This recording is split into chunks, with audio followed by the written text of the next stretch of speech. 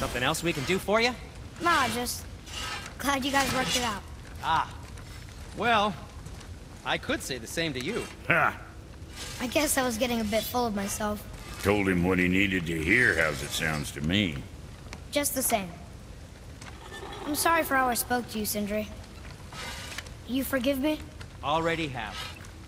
Like you said, it all worked out. Now, let us get back to work before I get... sentimental.